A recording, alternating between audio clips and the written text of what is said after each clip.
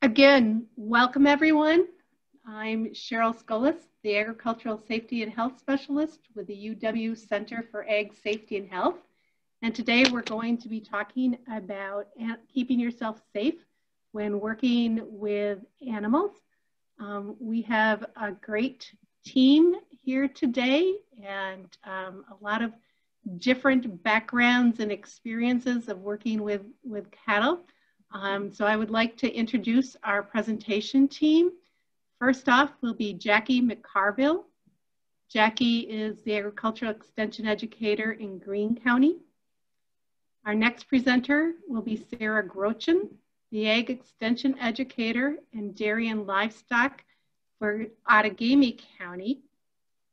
Our next presenter will be Ashley Olson. She is the Agriculture Extension Educator for Vernon County. Following Ashley will be Lyssa Seefeldt, the Dairy and Livestock Agent for Eau Claire County. And then bringing up um, our program will be Amber O'Brien, the Agricultural Extension Educator from Calumet County. I'd also like to um, recognize a couple of other members of our program team for today. Carl Duley, who is the Agricultural Education Agent in Buffalo County, as well as Jim Verswevelt, um, who is an extension educator for Walworth County. For those of you that are listening in on our Spanish audio today, we appreciate um, the help of Jim Larson and Eric as our interpreters. And I apologize, Eric, I just lost your, your last name, so please share that um, with the group, um, as well as our assistants from the UW Extension um, Office of um, Access and Inclusion. And, and Carlos has been helping us set up. So Welcome everyone again, and we are glad that you are here today. We will be using a couple of features as we go through this program, one of them being the chat box. So if you have questions or comments, please feel free to use that chat box and um, we will have a couple of our team members monitoring that chat box for you. We will also be using the poll feature for a couple of quick and easy questions for you. Um, so when it comes that time and we launch the poll, we would greatly appreciate your involvement with that. So with those introductions, I would like to get us into today's content and subject matters. So here we go.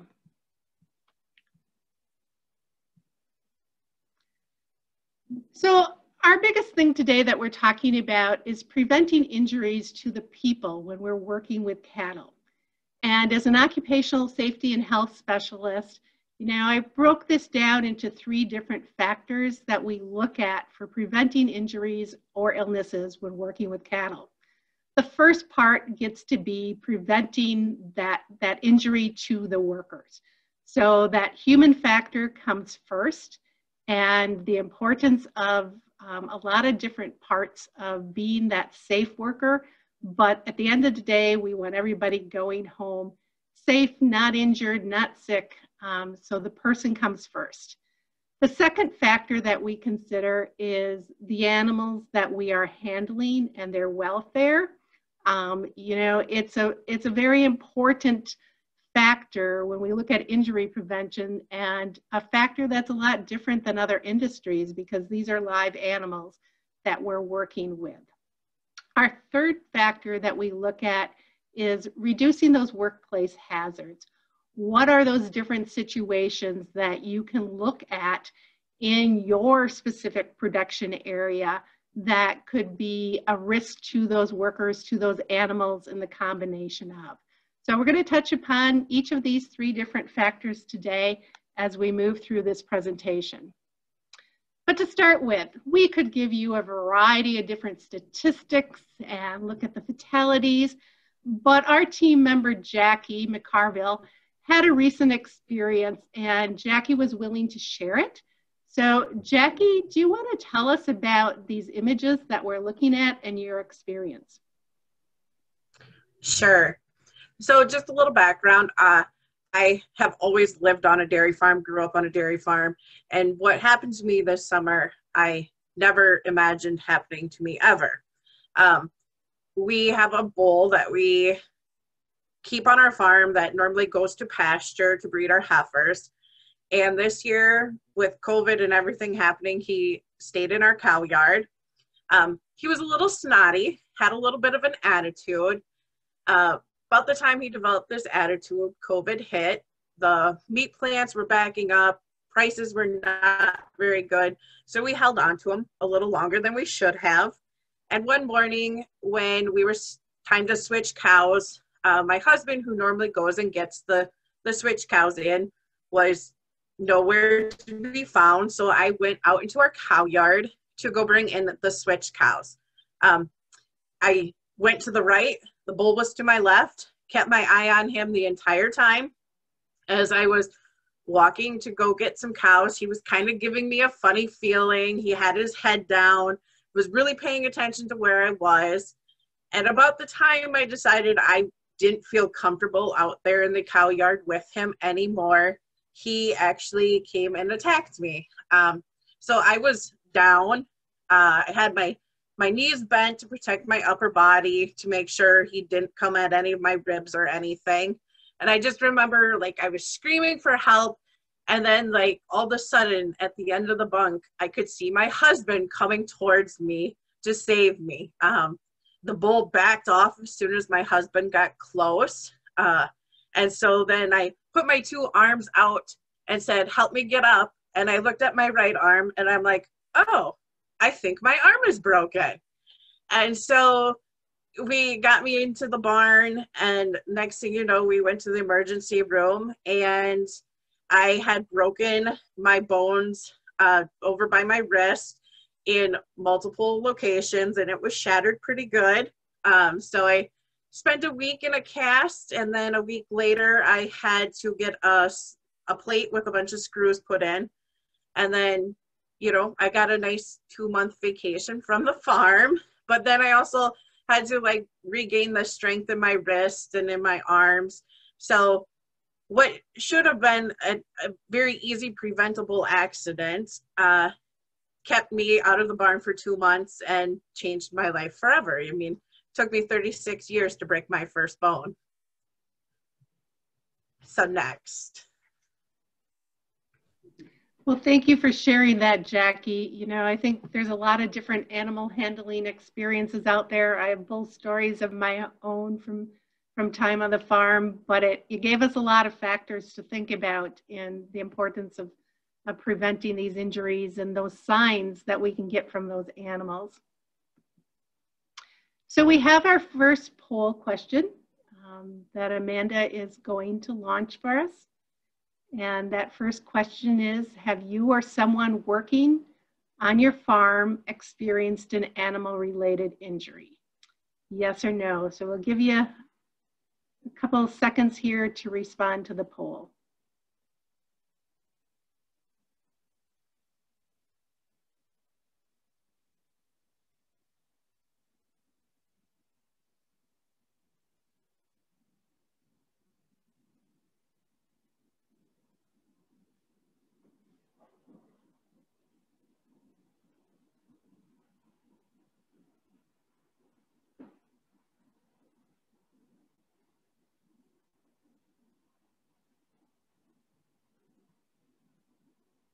Okay, it looks like we have slowed down here on the responses, so we've stopped that. Um, if we look at the results, um, that, you know, the greater percentage of us, 62%, have had an injury working on the farm that's animal related. So um, different, different factors that I'm sure each of those incidents could be looked at for. And so let's look a little bit more now um, at some dangers when working with cattle. And you can see we have a whole variety of them here and different factors and, and different situations that we can look at those three factors and parts that we talked about earlier. Coming at this from um, the agricultural safety and health specialist side, I just wanted to take a moment because it usually comes into question of what regulations apply to worker safety when we're working with animals. And so in this, um, in, when we're working with animals, if we look at our federal regulations, the General Duty Clause of the Occupational Safety and Health Act of 1970 is the regulation that we would be looking at. This um, duty clause applies when you have one non-family member employee. However, some of you may be familiar with OSHA, the Occupational Safety and Health Administration, and the Appropriations Act may not use funds to inspect on operations with 10 or less employees. So while you may have heard in the past that OSHA doesn't apply to smaller farms, um, the, the act itself does. And whether there's a regulation or not, you know, it's important for all of our workplaces to be safe workplaces and that we work to do our best to prevent injuries and illnesses. So with that, I am going to turn it over to Sarah Grochen to talk about um, some of the, the human factor, the person factors. So Sarah? Thank you, Cheryl. I'm glad to be with everyone today. It is cold out there, so a lot of the things we're going to be covering, um, you can apply uh, in this type of weather. Um, so the most important thing, uh, one of the most important things uh, when you're working with animals is to dress correctly for the job.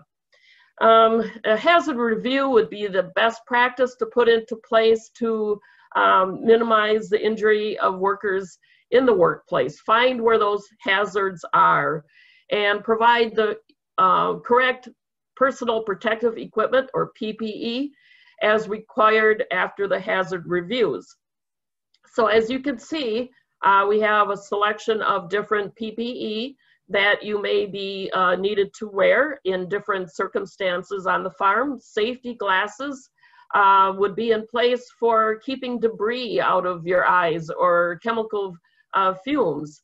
Um, so uh, footwear with good soles, of course, uh, uh, a lot of farms have slippery conditions, so good tread on your boots is very important gloves, um, not only in cold weather to protect your skin from the elements, but um, protecting your skin from uh, harsh chemicals that you may be working with on a daily basis. And lastly, always uh, make sure that the PPE is comfortable, um, weather appropriate. Uh, winter, obviously, you need warmer clothing, and uh, in the hot weather, you need cooler clothing. Um, so uh, with that, we'll, um, next slide, please. So safety tips for workers in the working environment. Most importantly, always dress properly for the weather.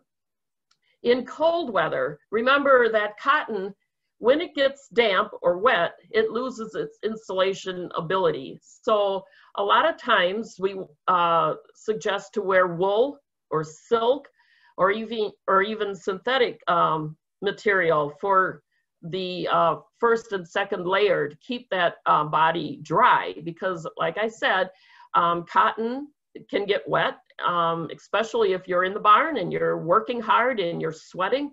Um, cotton will not have that insulation uh, properties as well as those other uh, three types of um, material. Um, make sure that your uh, clothing is not tight fitting. We want that to be a, a fairly loose so there is that airspace to insulate your, your body. Um, so do not wear tight fitting clothes. Make sure that you cover your head um, with a hat or a hood. 10% of your body heat is lost from your head. So um, make sure you have a nice hat on in, in cold weathers and also, um, if it's really cold, make sure your nose and your mouth are covered with some sort of knit material or collar or something that'll protect that part of your face as well. Um, and then don't forget your feet and your hands. Um, make sure you have insulated gloves, insulated boots, uh, water resistant if necessary. In addition to the way you uh, dress, you should always monitor your own condition and your coworkers alike um, during um, extreme weather temperatures. Um, don't forget about coworkers that go out on their own to do a task outside by themselves. Always monitor yourself and your coworkers.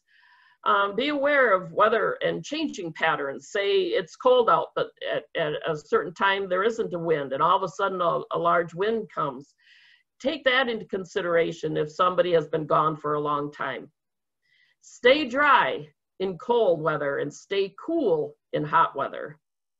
Keep extra clothing handy in cold weather in case your socks get kind of uh, sweaty or, mo or moist, other parts of your um, clothing, so that you can change into dry clothing. So always keep an extra change of clothing around. Stay hydrated. Drinks for alert people. Um, sometimes in, uh, in really severe cases, people are not alert, so therefore drinking with uh, any type of drink uh, would not be appropriate. But stay hydrated, whether it be cold or hot weather, drink a lot of water. No alcohol, alcohol dehydrates the body, so stay away from alcohol. And use safe work practices. Um, engineering controls, so go to a heated room, if, if it's very cold or go to an air conditioned room if it's very hot. Um, use windbreaks if you're working outside and it's windy. And always remember the personal protective equipment. Next slide, please. Employer responsibilities in the work environments. Employers have a responsibility to train the employees on the hazards of working in cold or heat. The best practice would uh, be a, a, quiz so that um, you know the level of knowledge your workers have obtained. Um, and always go over uh, what they should do in case somebody does have heat or cold stress. What are the steps they should take? Um, include the safety measures if a person experiences cold or heat. So what are the first aid practices that they should use? And definitely ensure safe work practices and seek engineering controls as in cold make sure you have a place for them to take a lot of breaks in a warm room. And on the flip side make sure in hot weather that you have a, a cool place that they can uh, take a lot of breaks during their um, during their workday. Next slide please so prepare for the weather. There's risk factors during extreme weather and in cold, one of the risk factors is wet, wetness and dampness, even from body sweat. Um, we covered this a little bit uh, in a prior slide, but um, like I said, um, you need to have dry clothing on. Um, so have a change of clothing and um, that means socks or uh, shirts, anything like that um, keep an extra set of, of, clothing around that. You can always switch from damp clothes to dry clothes. Um, dressing improperly is a, is a risk factor. So you do not want tight fitting clothes. Um, you want to dress in layers, preferably three layers, uh, two layers of wool, silk, or um, synthetic material. And then the outer layer should be um, a windbreak if it's windy, or uh, if it's raining, you should have uh, uh, a coat on that has um, water resistant properties to keep you dry. Um, wind chill. So uh, tune into the weather forecast because as we have cold temperatures and the wind increases, it, it, it is a, makes for more of an extreme um, circumstance. So um, listen to the radio, TV for wind chill um, alerts. Exhaustion is another risk factor. Acclimation um, is a risk factor. So if you're dealing with workers that are not acclimated to that type of weather, whether it be extreme cold or extreme heat, you need to acclimate the workers slowly.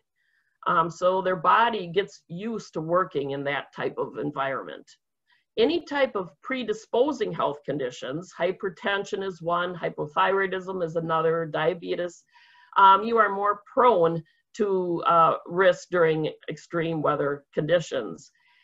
And lastly, if you're in poor physical condition, whether you have a heart condition, overweight, anything that would lead to where your body is struggling, um, on an average day, it's going to even be harder for that person during extreme temperatures. Um, on the on the hot side, I, uh, a lot of the same type of situations, acclimation is critical, hydration is crucial. Um, especially if it's high humidity and there's no breeze, take that in consideration. High exertion or continuous work without breaks. If you've had a recent illness, take that in consideration as well. Again, personal risk factors. If you've had heat illness before, you're more prone to it again. And lastly, poor physical condition is again a risk factor for extreme heat temperatures. Uh, next slide, please.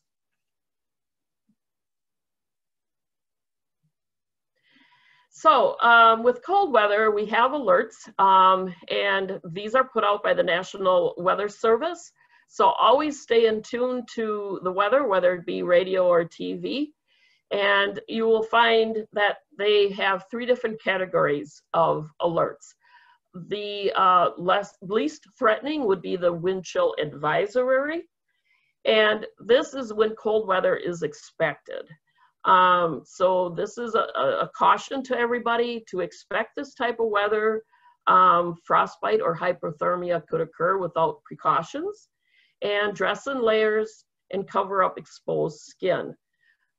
The next notch up for um, alert uh, would be wind chill watch. And this is when the weather uh, situation is expected. Uh, so take action, be prepared, for this type of weather, check your forecast and prepare for dangerously cold weather. And the highest level of an alert is a wind chill warning. So this is, it is going to happen. Dangerous cold is expected. It could come with strong winds, which wind chill will kick in.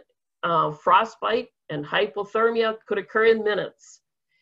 So limit the time outside dress in layers, cover exposed skin. And if you have tasks that need to be done outside, try to reschedule them so that you're working more in the warmer part of the day rather than in the colder part of the day.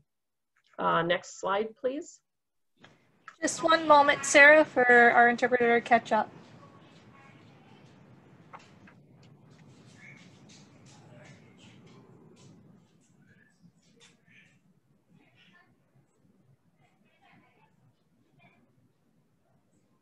Okay, Amanda, let me know when I can go. All right, I will.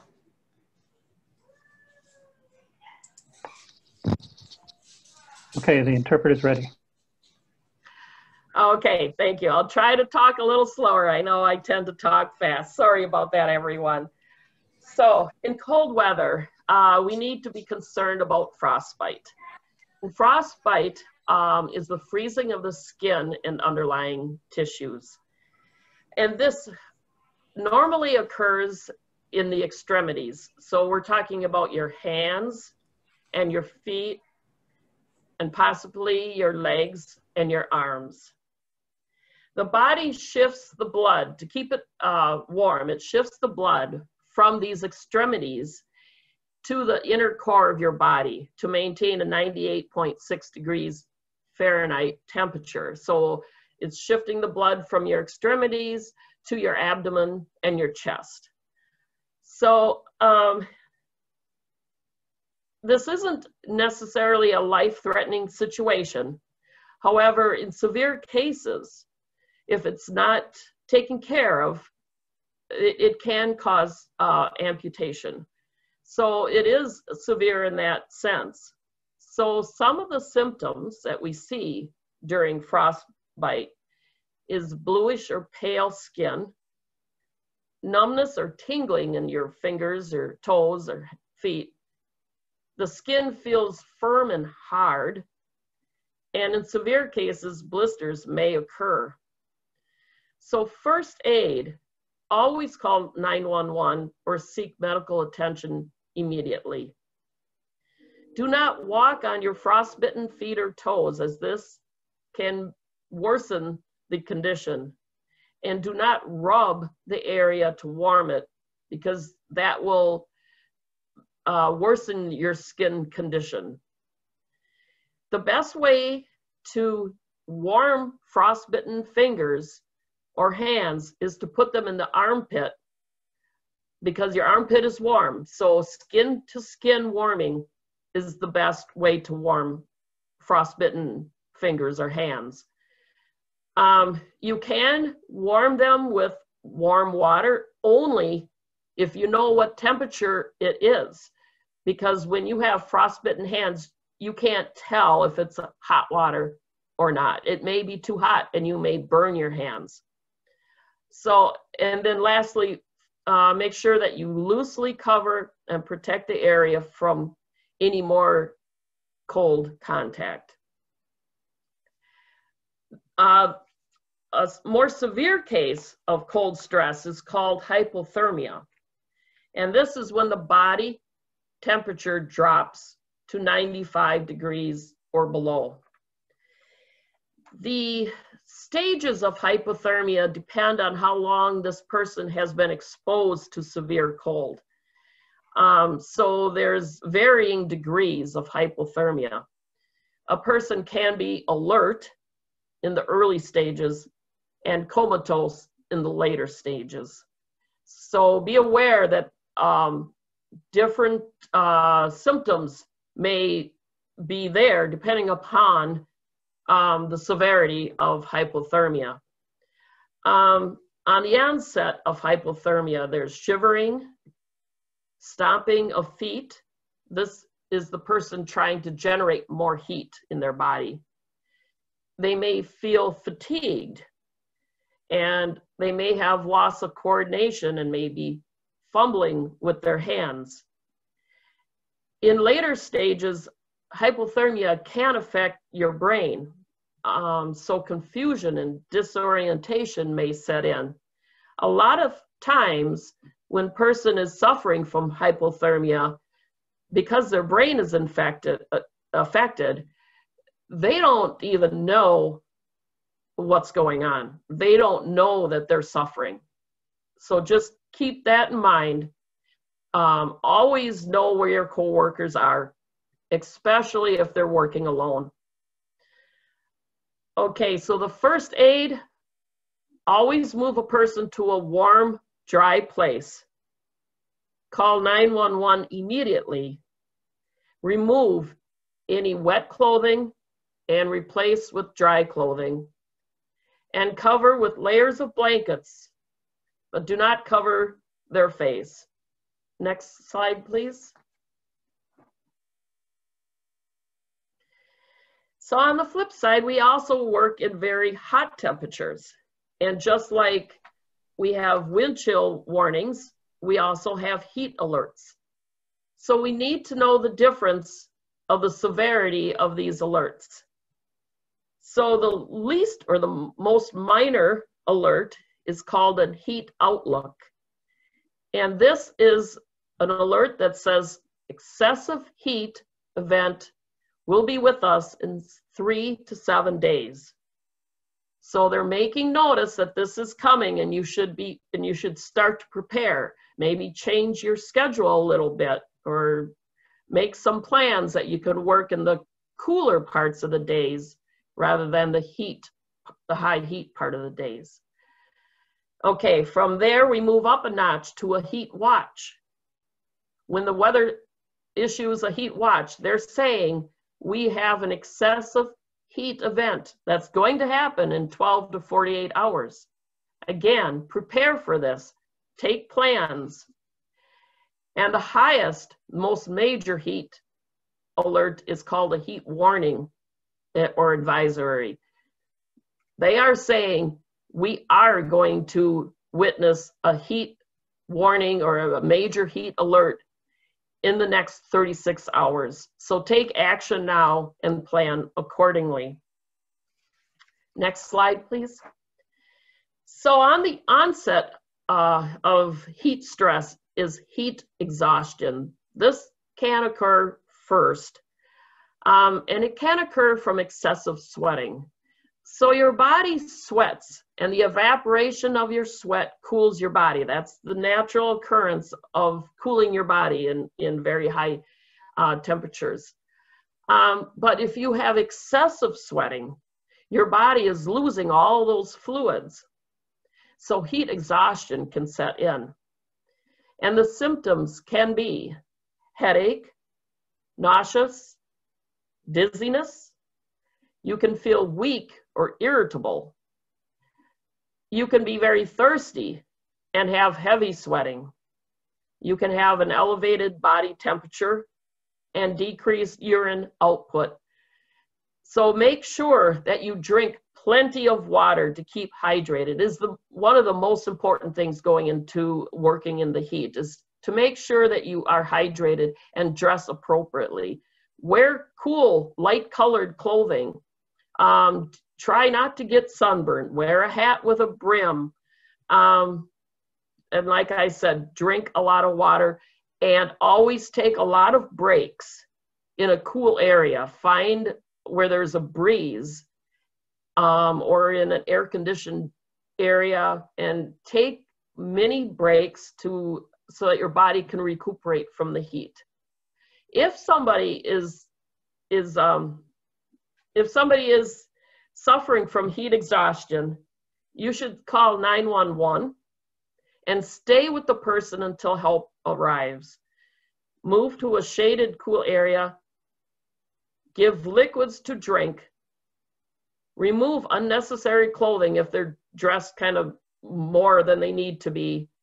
Um, ask them if they would like, uh, you know, a cool compress, and again, encourage frequent sips of cool water. That'll help them recover from heat exhaustion. Next slide, please. Heat stroke. Now, this is more serious than heat exhaustion. Death can happen if treatment is delayed. So you need to take action immediately. Symptoms include confusion and slurred speech. You can have a loss of consciousness and the person can go into a coma. They can have hot, dry skin or profuse sweating, seizures, and a very high temperature. And like I said, if they are not treated, and this goes without treatment, death can happen. So this is a very serious, serious condition. When somebody suffers heat stroke, and that's when their temperatures rise to 106 degrees or higher in 10 to 15 minutes, call 911 immediately. Again, stay with the person, move to a shaded cool area. Remove outer clothing, cool them down as quickly as you can, and try to circulate the air around the person. If there's a breezy, shady area, that would be best. Next slide, please. So, in summary, how do we avoid the cold or heat stress? First of all, hydrate. Drink plenty of water and avoid sugary beverages as well as alcohol. Water is the best, and you can't drink enough when it's when you're going to be working in really hot weather. And as well, remember you need to stay hydrated in really cold weather as well. Secondly, stay cool. So if you're working in hot, consider moving more physical tasks to the cooler part of the day and take more breaks in cooler areas. And lastly, dress for the weather. Wear lightweight, light colored, loose fitting clothing. And in the end, if every if anyone is suffering from either heat stress or cold stress, make sure that you call 911 immediately, seek medical attention, and make sure you contact your supervisor to let them know what is happening. Sarah, thank you so much. Lots of, of information there. Um, it's hard to, to think about hot temperatures in the cold weather that we're experiencing. Hopefully, a lot of content that people can take and talk amongst their um, farm teams with related to heat, cold, and, and some of those personal items. With that, we're going to switch into cattle behavior and handling.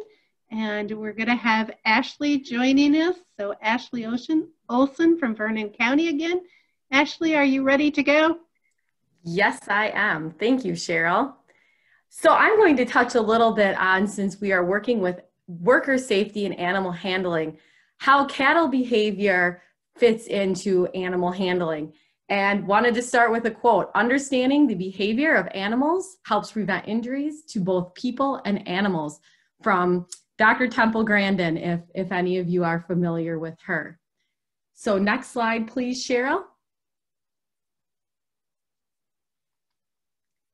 So to start, cattle are like prey animals. They they like to be together in a herd. They can be protective. And so having some of this in mind, we're going to discuss some key factors of good cattle handling and how it can help us um, prevent injuries to ourselves working with the animals. And next slide. So two of the things that we're going to look at are the flight zone and the sensory perceptions of cattle.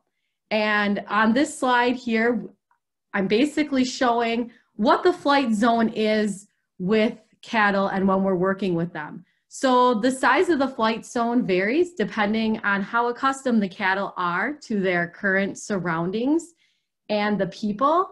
And um, one thing to note on here is the point of balance, which is um, pointing up to the front shoulder, if you can see that on, on the animal. And um, so some of the um, guidelines that correspond to the cattle's flight zone include determining the edge of the animals or the group by we slowly will walk up to them and then we'll move away when we've entered their flight zone. We'll also want to make sure that we're working on the edge of the flight zone as we can see where Cheryl's been pointing at the flight zone boundary. We want to avoid entering the animal's flight zone too deeply or quickly as this may cause them to bolt away or try to back uh, past us, which could injure us.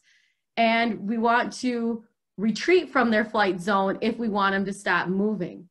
We want to quietly move cattle using their natural flight zone and again, we want to be able to move them forward by moving towards their rear, past their point of balance, which again is their shoulder. We want to be able to stop the cattle or back them up while in a chute by moving forward past their point of balance.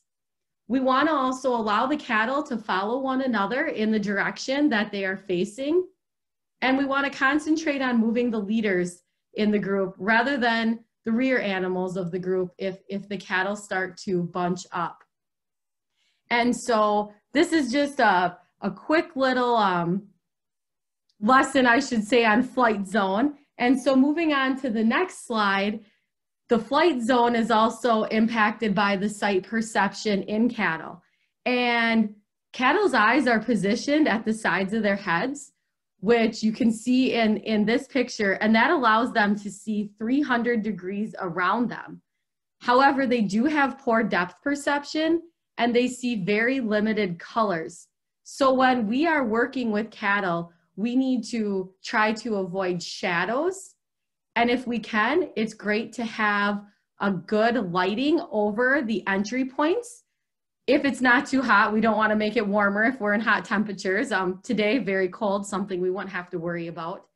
And then we'd like to see solid walls on loading ramps and handling chutes so it can hide distractions for them since they can see so far around them. And then we can go to the next slide, Cheryl. So knowing a little bit more about their flight zone and their sensory perceptions, how should I approach cattle when I'm working with them to make sure that I'm safe? So the safest approach is to announce that you're there through a touch to their front or side. You want to avoid loud noises And you want to identify and correct any reasons that the cattle may be balking or stopping moving when you are working with the cattle. And we can go to the next slide. So this is just an example of if you are working in a facility, uh, say with through alleys or chutes with cattle, and um, we want to make sure that we're moving forward into the chute or the palpation rail. As you can see, our path to move them forward in this um, uh, image here, and then their point of balance over the shoulder. We don't want to walk up the same alley that they're trying to go out. And again, our swing gates uh, can be used as pinch points. And also, depending what type of facility you're working in, we want to make sure that we're adapting our walking pattern into the to the facility and what the cattle can see. So when we have solid walls or panels and the cattle can't see the handler, then use this um, of the return path is not as critical. But if you are up on a catwalk, they would be distracted by you. So as you move past them going to their rear, they will move forward. But if the catwalk is not wide enough, you'll need to step off of it for your return path. So just a couple of different examples to make sure that you are being safe uh, depending um, on what facility or alley or chute you could be working with. And then just to wrap up talking about cattle on the next slide, they are definitely, again, have that herd instinct. They prefer to be in the herd and not be alone. We always want to make sure that we're working to move the leader and not pushing on the followers. So we're working in the safest uh, manner possible with the cattle herd. And we want to allow the animals to follow one another in the direction that they are facing. And now Jackie is going to talk about the different um, behaviors with some of the different cattle. Yeah, so, uh, you know, my story, the bull got me, but as we know on farms, it's not just bulls that can be attack animals. Fresh cows and heifers are especially, can be very protective. Um, you can usually tell where the new calf is in a, a calving pen or if they're out on pasture because all the cows kind of want to huddle around that calf and not leave it alone. Um, and also like the first time getting that fresh cow or heifer into a barn they've never been in or a parlor that they've never stepped in is really important um, to try to get them to move with a group. They seem to like to follow others, or you might have to bribe them, uh, maybe put a little corn or hay or something right inside that door of the barn to get them to come in and give them a little time to to snoop it out and kind of see what they're what new thing they're going into. Uh, you can go to the next slide, please, Cheryl. But do remember that bulls tend to uh, create the most accidents. Um, the worst ones tend to be those that are home raised and hand fed. Um, I know on our farm, our kids love petting the calves when they're feeding them, uh, and that could be some of the worst things you can do is when the animal becomes more of a pet than just an animal on the farm. So never allow them to headbutt. Um, if you do want to pet an animal, especially a young bull, pet them anywhere but on the forehead. And never turn your back and run from a bull. When you once you start running, that bull knows that it's game on, full on attack. And never leave bulls penned alone. Um, they do better when they're in groups. And you can go to the next slide. And this slide, we have a video of a bull so showing some signs of aggression. Hopefully we can get it to go here. Um, so you should be able to hear the bull making some noises, some um, grunting type noises. He's pawing at the ground. His head is down. His shoulders are kind of hunched. Um, he he's kind of indicating that a person has entered into his flight zone and he's ready to go ahead and fight. Um, so making sure you know when you're working around a bull, you know, looking for these signs. Uh, the one that definitely attacked me was he had his head down and he he was totally ready for a fight. So uh, next, I think we have uh, moving cattle in barns. So always make sure you have an escape route. Uh, know where those people passes are, where there's a door you can get out. Um, keeping things, the floor drains, manure channels covered. That way, if, in case you need to take off in a hurry, you don't end up falling in a hole and hurting yourself. Don't get, get between an animal and a gate. Um, it could be a great crushing, crushing point for you. You could end up, you know, if you're up against a crowd gate, be pinned between the animal and the, that gate. And also make sure that you're also not between an animal and a solid surface. So always, always know when you go into a pen or the barn or wherever, if you're working with cattle, have that escape route planned. That way, if you need to make a quick a getaway, you can do that. And so now, Cheryl, you're going to transition us? Yes, thank you so much um, to Ashley and Jackie. Uh, different points to consider. I can tell you as a safety specialist, a lot of different cases were running through my head as I was listening to this. So our next part of this program, um, we're gonna get into a couple of special animal handling situations. And our first one that we're going to be discussing is going to be worker safety um, during shot administration. And Lyssa Seefeldt is going to be our presenter. Lyssa, are you ready to roll? Yes, thanks, Cheryl. So we can hop to the next slide there. Excellent. So, what are some of the biggest dangers um, that we may encounter when we get into those closer quarters um, with animals when we're administering shots? There's really kind of four key ones um, that we came up with. Um, that includes injuries due to improper restraint, needle sticks, so the physical trauma of a needle um, actually sticking through your skin, potentially into bone, um, product absorption through the skin, and then inadvertent product injection into um, you, the human, rather than the intended um, animal. So we can go to our next slide there. Um, so when we're talking about proper head restraint, um, most of the time we're going to be working um, maybe with a cattle chute, maybe we're in a palpation rail, but um, maybe it's a headlock. Um, those should be sufficient for most scenarios of our routine everyday uh, vaccinations and things like that. But there may be some certain scenarios um, where we really do want to take some extra time to fully restrain that head and neck area. Um, with a halter um, because there may be some um, particular products that are going to um, need a little bit of special care. And we can head to the next slide, please. Okay, and so when we're talking about preventing needle sticks, um, there's a few things that we can do.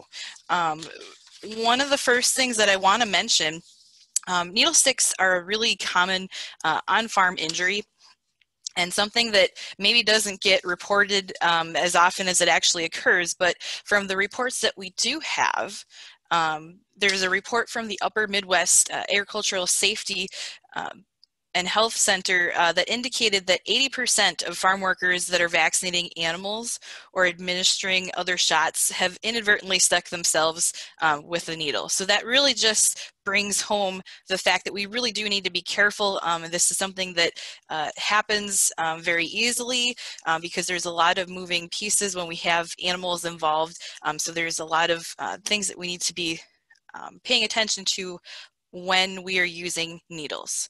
And so one of the first things that we want to make sure we do before we actually um, inject any products, we do want to make sure that we are trained in our protocol um, prior to actually administering any product to our animals.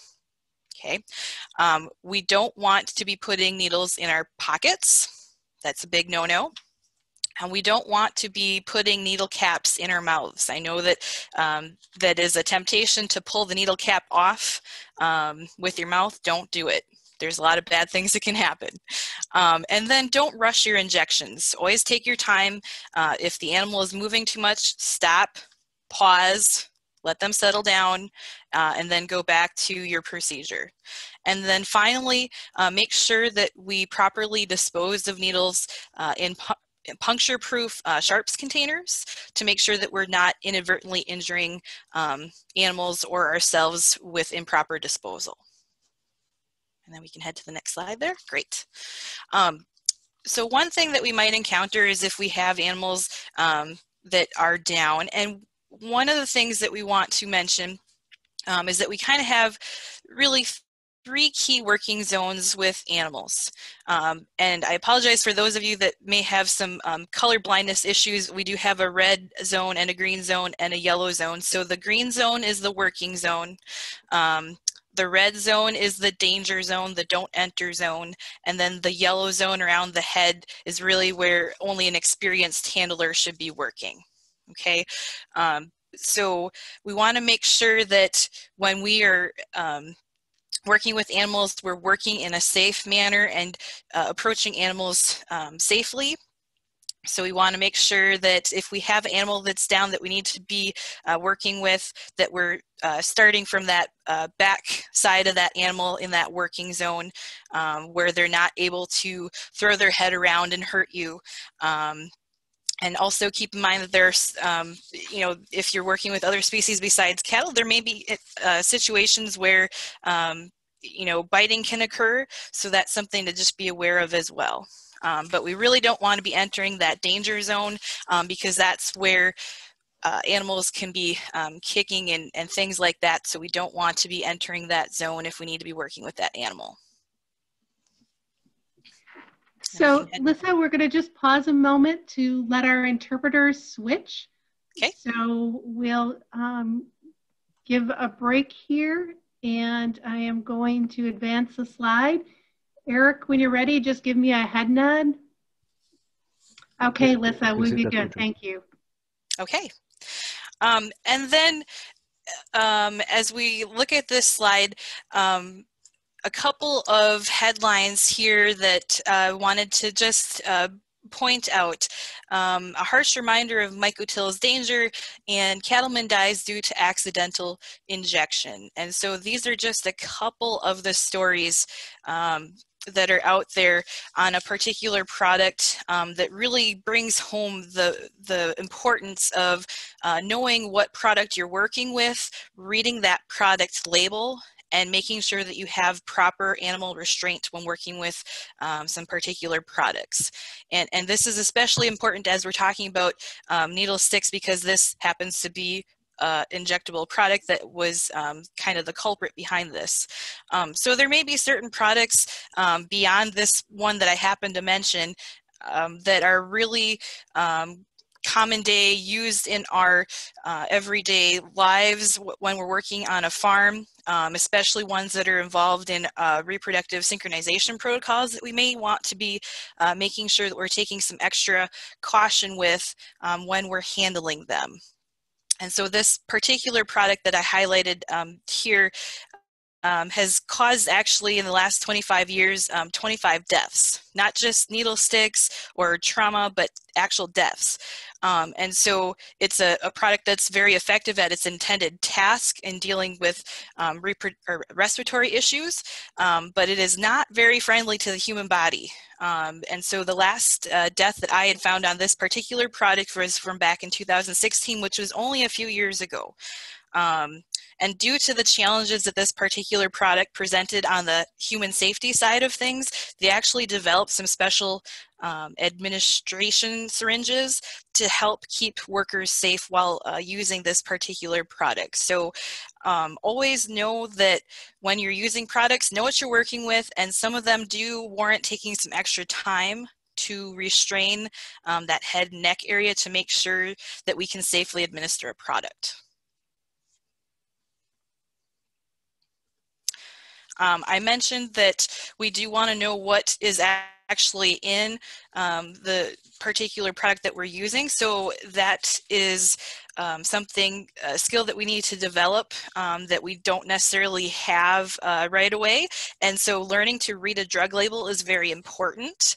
Um, there's different parts of a drug label. Um, you're always going to have a particular um, kind of trade name that's listed on your label. You're going to have um, the actual active ingredient, and then you're going to have uh, directions for use, indications, and the really important um, piece to be paying attention to when we're talking about the human safety side of things um, is the cautions and the warnings. That's where you're going to get a lot of details um, about how that product um, may be affecting human health if there's issues, uh, special precautions that you need to be taking. And one of the things that I'd like to mention um, is that there are some extra um, pieces of information that we can hunt down um, that we should have on our farms available to our workers. And if you're a worker, um, they should uh, be available to you so that if you have questions, you can um, dive in a little bit deeper. And this is called safety data sheets and there's 16 different um, pieces to a safety data sheet and we're going to highlight about five of them that are going to be helpful pieces when you're looking at um, finding additional information on your um, animal health products, whether that's vaccinations or um, antibiotics, other um, products that you'd be using animal health wise. Okay, um, so we can go to the next slide. So the first one that I want to highlight is hazard identification. And so the particular um, product that I have um, highlighted on the safety data sheet is um, called Lutalyse. And I've actually worked with this product in a previous job um, when I was in the swine industry. Um, and there, this is a product that's used to induce um, farrowing in uh, pigs. And if we can see the really tiny text at the bottom of this slide, um, the hazard indication uh, shows that it's a this particular product has uh, reproductive implications um, in that supplemental information section uh, at the bottom. And in cattle, this particular product is used to help lyse the corpus luteum. so that's something that um, we may be uh, utilizing on a regular basis okay? And this section also indicates that there are potential respiratory problems that could result from injection or absorption uh, exposure to this product.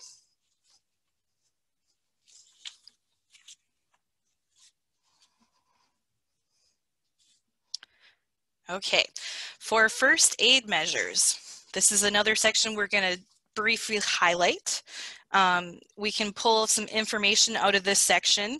Um, as well as what we may need to do if we're exposed to this particular product. This particular section uh, indicates that uh, gastrointestinal disturbance may be another symptom that we might see if we're exposed to this particular product, um, say through our skin. Okay. We can go to our next slide. Uh, the handling and storage section um, and exposure control. Um, this gives you some information on handling that product safely, um, as does the exposure control and um, PPE section. And so uh, this tells us that spills of this product should be immediately washed off of the skin uh, to prevent or slow absorption uh, of the product. And uh, we'll also learn in this uh, section that uh, we should wear gloves when administering this product to prevent contact with the skin. Okay, our next section um, is the toxicological uh, information section. And this is really where um, we can get some uh, details about um, harmful effects and uh, exposure of this product um, to us. And so here in this particular one, we'll learn that um, there's reproductive impacts and also reactions of those that may have a respiratory challenge with uh, exposure to this particular product. So a question becomes why does Lutalyse have such a vast array of effects on the human body?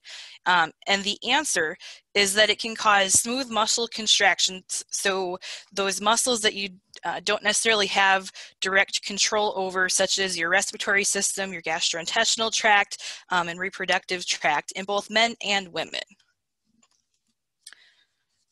And so it makes it a, a tricky product uh, when you get exposed to it because it can cause issues that you wouldn't necessarily anticipate. Okay, so whenever we are um, utilizing products, we do want to keep that safety in mind, um, especially when we're administering reproductive um, protocols. So we want to make sure that we read that label. We want to make sure that we're following recommended safety procedures. Um, we want to use our personal protective equipment, um, especially if uh, there's gloves that are recommended or required by our label or our protocols. Um, so make sure that we're following those um, per our protocols because they are there, to, um, that those steps are there to protect um, you. We can go to the next slide. And then we did just want to mention that it is important to keep in mind that there are um, zoonotic diseases that can be passed back and forth between animals and people. And we have a few of them uh, listed here. This is by no means the all-inclusive list, um, but it is some of the more common ones that we may encounter on a farm scenario. Um, this would include things like brucellosis, cryptosporidium, um, Lyme's disease, uh, ringworm, tuberculosis, and uh, others. Um, so as always, whenever we're working with animals, practice good hygiene. Thank you, Lyssa. A lot to consider. Um, made me think as we were going through some of those SDS parts about working with farms and the value with your hazard communication programs. Um, the drugs were often a missed part of, of working on those programs. So next up, we're going to be talking about handling a down cow with Amber O'Brien from Calumet County. So Amber, are you ready? Yes, I am, Cheryl. Thank you. Um, I'm assuming most of you know what a down cow is, but a down cow is a cow that has fallen and cannot get back up on her own, and she will need human assistance. So we're just going to do a quick poll question here. Does your farm have protocols for handling down cows?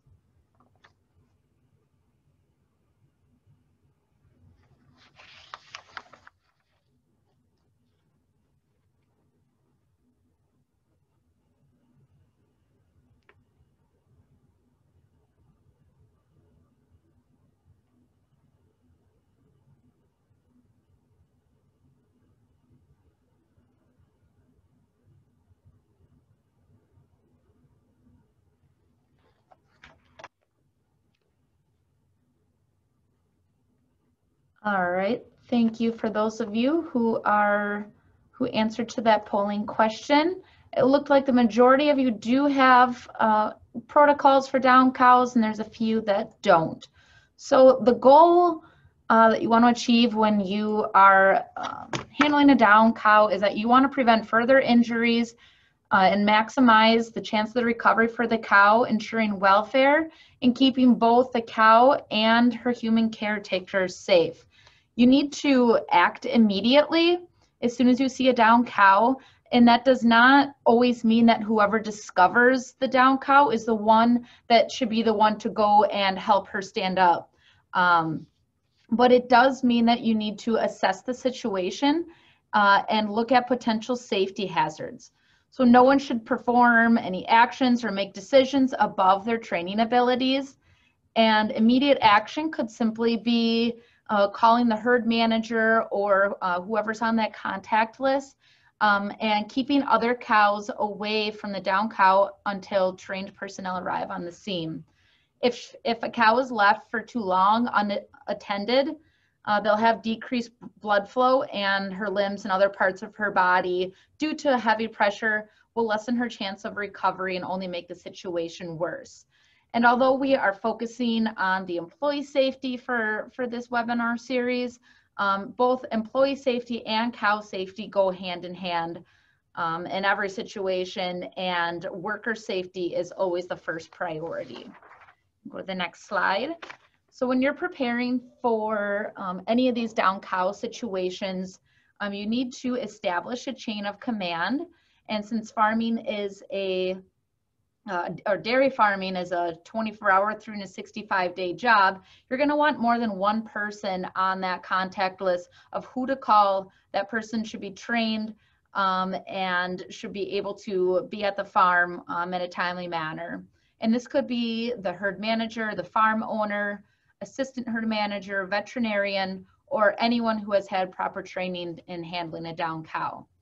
Uh, each farm should have a standard or a standard operating procedure on how to manage a down cow, so that way the employees can reference it um, and any changes uh, that need to be made can be made. So everyone who's expected to help in a down cow situation should not only have access to these standard of procedures, but also continuous refresher training on proper animal handling and managing a down cow. Um, and you're going to want to work with your herd veterinarian on developing this, these protocols and the training. Um, and in, in these uh, protocols, you need to make sure, again, you include that contact list, how to assess the down cow, and the next steps that should be taken. It's also a good idea to go over the equipment uh, that you use um, when handling a down cow and when you should be using that equipment. And that could be a halter, skid loader, um, an appropriate bucket uh, to use on the skid loader, straps, hobbles, or whatever you use uh, to handle a down cow. Next slide. Uh, so when you assess the situation, um, there's a few questions that you, that should be asked um, before you go to just help the cow stand up. Um, you need to make sure that the cow is is in a safe area where she's laying down. So if there's, uh, you may need to redirect cow traffic, whether you got to put put up gates or or any way to make sure that uh, that cow is safe, and then the workers around her who are going to be helping her hopefully stand back up will be safe as well. Um, you're going to want to check the cow for any injuries or illnesses. If she's down due to milk fever, uh, she should be treated immediately. It's um, it's best to treat the cow if she has milk fever before you try to get before you try to get her to uh, stand up. So, um, so you want to follow the herd health protocols um, when you're attempting to uh, help the cow up. There may be automatic scrapers in the barn that need to be turned off. Um, and you're gonna want to check the cow's history as well before proceeding on, on how you're gonna get her up. How many days fresh is she? Is she pregnant? Has she had any lamenesses in the past? These are all things that you need to assess before uh, helping the cow stand up. So you want to be sure that the floor under the cow has some friction to it. And this may involve spreading some lime or sand around the area. And this is not only to help the cow stand up, but to also give uh, some friction to the employees who are, who are around the cow and helping them from slipping out as well. So you're gonna want to allow for at least four feet of space in the front of the cow to, to help her up. So don't be in her way. Do not be standing in the front of the cow because they have, um, they need that lunge space in order to stand up. Some other questions to ask while assessing. Just a quick, a quick pause, Amber, our interpreter okay, yep. switch. Yep. Thank you. All right, you're good.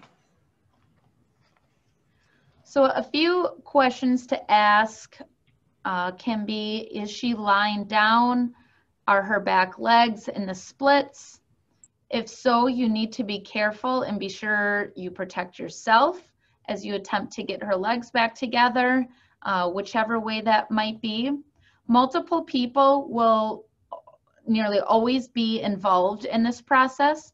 So you're going to want to communicate a plan uh, before attempting to help the cow up. And I'm not going to get into detail on every exact technique on how to uh, handle the cow in each situation, but it is important that everyone who is helping knows the complete plan to get the cow up. And this will help prevent the cow from further injury and decrease chances of any people being injured. Some other types of down cow situations would include her laying flat out or casting or if she's caught in anything. Make sure that if she's caught in a pipe or stall or gate that you get permission uh, to, if you need to cut a pipe or something, um, get that permission before you do so.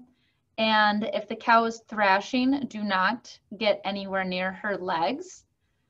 You got to give her some time to calm down, but keep in mind that she could kick out or whip her head at any moment. While it's uncommon in dairy cattle, don't disregard the fact that in some situations, when they're in pain or they're fearful, they could the cow could turn mean and even if she gets up uh, to stand up you need to make sure that you have a rapid exit path because she is heavier than you and you don't uh, want to attempt to control her once she's up next slide so you all have already seen this image before uh, but uh, just wanted to refresh uh, your memory with this of the working zone, uh, the experienced handle handler zone, and the uh, the do not enter zone. So an acceptable way of approaching a down cow would to be slowly come from her rear, then to her shoulder, and not from the front if possible. But you, you always need to make sure that she knows that you are there. So if you're coming from behind, make sure that you can at least make eye contact with her and that so she can see that that you're there. And then yeah, you can work your way towards her shoulder and and um, you know help the cow in whatever situation that you're in. Next slide, please. So when you're moving her to a safe location, um, you, typically want to have a designated area specifically for a down cow, and that would be um, usually a bed pack hospital area. Uh, you never want to leave a cow outside. Um, get her in some soft bedding, and that will provide for plenty of, tr of traction for you and her in, reattempt in getting her to stand. Um, Equipment to move a down cow should always be ready, readily available. And if you have uh, the cow bundled up, and I have a picture there of a bundled up cow, um, that is a technique used um, using a halter and a rope to hold the cow in a position where she cannot flail around and injure herself or anyone else. And this can be used uh, to transport her if you have a, a large skid loader bucket uh, to move her to a safe location. Uh, there's other techniques that include rolling her onto a mat or a piece of plywood um, that can be pulled by a skid loader. So when, when you're handling the cow and you're using a skid loader, make sure that uh, you don't get your hand caught when you're applying any of the straps or have your hand um, in any, any of the straps that you're using when the skid loader is pulling. Uh, just let the skid loader uh, handle the weight um, and make sure that you have a skid loader that um, is capable of, of carrying a, um, a heavy cow. And you never want to mechanically drag a cow uh, with a direct attachment to her body part. Um, and remember that her skin is her primary immune barrier. So dragging her and tearing open her skin will only cause more problems. So um, just remember, you're not just attempting to move her, you are trying to save her. So every step counts in that final goal of a complete recovery for the cow while keeping everyone safe. Next slide. So here are just some acceptable and not acceptable uh, points to make when you're trying to help her stand. Um, speaking at her, yelling, clapping hands, just really encouraging her to stand up um, are, are accept, are acceptable ways. It is not acceptable to uh, hit the cow or poke her with sharp objects or use excessive prod use. Next slide. So you need to be very patient. Uh, in most situations, uh, the halter should be removed before asking her to stand up so she can lunge and move freely while attempting to stand up. However, regardless of her current temperament, uh, she, she may make the situation worse by attempting to run once she is standing and potentially injure uh, one of the people that's, that's helping. So sometimes leaving the halter on could um, help guide her in her speed and direction, but that's only if the situation allows for that. And it's keep in mind that it's not always muscle, but proper technique that can give the cow the best chance to stand up and keep all of the workers safe. You do not want to lift a cow too high up off the ground to the point where she cannot touch. And, um, and all of these uh, standing assistance techniques should be in the protocol book used for the down cows. Uh, always choose the lowest risk least technical means of movement. So you don't want to overcomplicate things. You want to work smoothly and be dedicated to the plan to help her up. And once you have the movements planned, you don't hesitate because that may make uh, the that may give her an opportunity to overthink the situation or an employee to overthink the situation. Um, so you want to have a set planned action and follow through with those smoothly. And once she's up, uh, make sure that the cow has a dedicated area to recover away from other cattle where it's uh, easy for other herdsmen to take care of her and always move very, very slowly with her. Um, she could be very, um, she could be shaking or wobbling and uh, she may not be quite ready to walk yet. So always be watching for those signs. And remember that you will not always be successful in attempting to get the cow up, um, but always have a plan uh, for next steps to take to ensure for pro proper welfare of the cow. Next step, please. Thank you. So in summary, uh, again, worker safety is the number one priority um, followed by the cow's safety and well-being. Every farm should have a protocol to follow for down cow situations and equipment needs to be readily available. Employees need to be trained regularly in order to achieve the goal of keeping everyone safe and allowing the cow to stand or to stand and fully recover. So here are some resources that I included in this slide um, that are, are great for your employee or if you're an employer or for um, any farm worker to, to read over um, that help guide um, down cow situations. Thanks, Amber. And that is a really important area. I know I've been involved in discussing a couple of cases where employees were injured when they were moving those down cows. We're going to move quickly um, to Lyssa again um, to wrap us up with livestock transportation safety. All right, thanks, Cheryl. Um, go ahead and advance there. Great. Um, so one of the things we did want to mention um, is just a little bit about when we're loading animals, what should we be doing?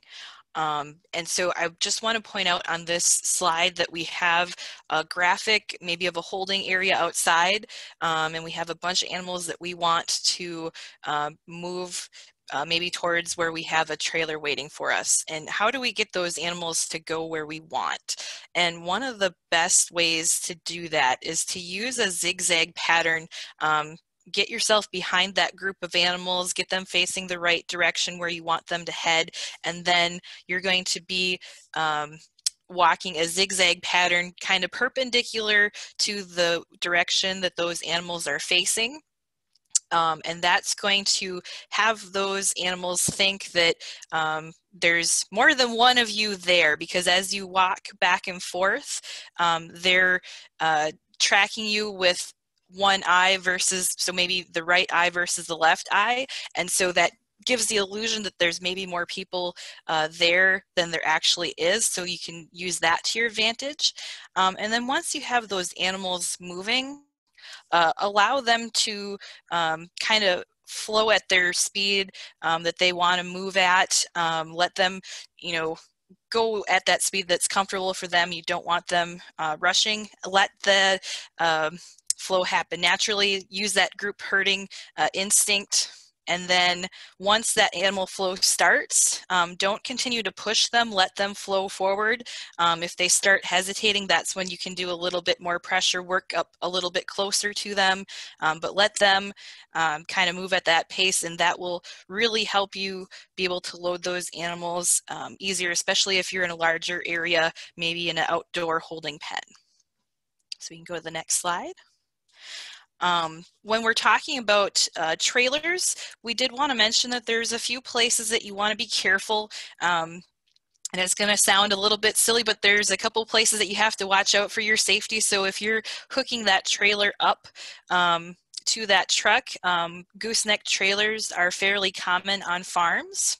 And when you're hooking that gooseneck coupler to that truck, um, there's definitely a couple of uh, potential times where you could get your fingers pinched. So, you know, be careful with that. Make sure your fingers aren't in the wrong place at the right time. Um, likewise, you know, you can uh, bash your knuckles on the trailer jack, so be aware of that. Um, you know, on the far side of a trailer, there might be an escape door, and anytime that there's a door, there's the potential to get uh, fingers or arms or hands pinched. So be aware of that. And also on the inside of those trailers, make sure to watch for those pinch points where you have doors that are swinging or sliding shut, especially if you need to um, swing or slide them shut fairly quickly because you have an animal that may be turned back and is wanting to pop out. Make sure that your hands and fingers are out of the way before that door uh, slams into them. You go to that next slide. A quick pause for our interpreters here, Melissa. Mhm.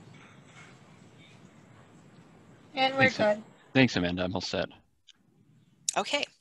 Um, and then when we're moving our animals, um, we just want to remind you, um, always make sure that we're avoiding those unnecessary noises because that is a distraction for the animals. If they're moving fine um, and going where you want them to, you just want to be kind of quiet and stay out of their way. Um, when we're loading into a trailer, we do want to make sure that we have some proper lighting um, in the interior of that trailer, uh, especially if it's at night, if we have to load at night for some reason. Um, you know, maybe we want to put up a light that faces into the trailer so that the um, inside that trailer is lit up so that we're preventing that bulking um, from going from a nice lit area, perhaps in a barn, to a dark trailer outside at night. Um, that'll help prevent some problems. Uh, likewise, um, we had mentioned earlier that we may want to utilize some solid walls um, in our loading area to avoid some distractions. And if we do see any um, bulking of animals happening, we want to figure out what is causing that bulking, um, ID what's going on there, and then go in and correct that and kind of start over so that we're not um, frustrating the animals and we're not frustrating uh, us as the human workers.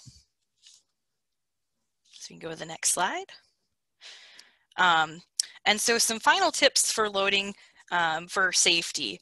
Uh, if you have a trailer that has a higher um, step up, you want to try to get that uh, trailer backed in so that it's lower. Um, so we have a smaller step up. Um, that may mean that we're backing down a little bit of a hill or changing um, that gradient to our loading area so that uh, we have a nice short step up. Um, again, when we're working slow and calm, that is actually faster than trying to force them to move uh, faster than what they want to move at. So um, loading at a walk or at most a trot is really where we want to be uh, for loading animals. We want to make sure that those animals see uh, when you're entering or exiting an area because they want to keep track of where you're at and you want to know where um, those animals are headed at all times. So you want to be able to make sure to watch for that.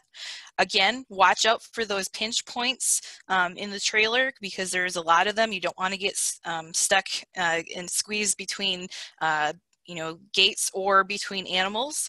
Um, and we don't want you uh, getting um, pinched either. So keep that in mind and hopefully with these uh, tips you should be able to have a more successful loading process that is safe for all involved.